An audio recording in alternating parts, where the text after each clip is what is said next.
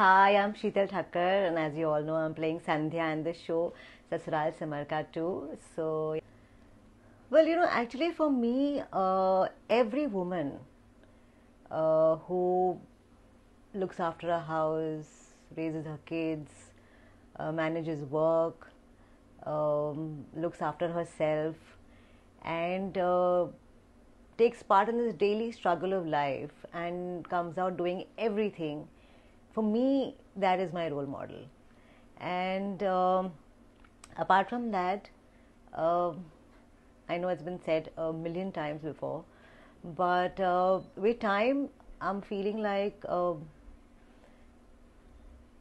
I want to do more and more uh, for people, uh, become more compassionate. So, uh, who better than Mother Teresa? And I hope someday uh, I can find it in my heart and in my life to do what I want to do for people. So, yes, that's it.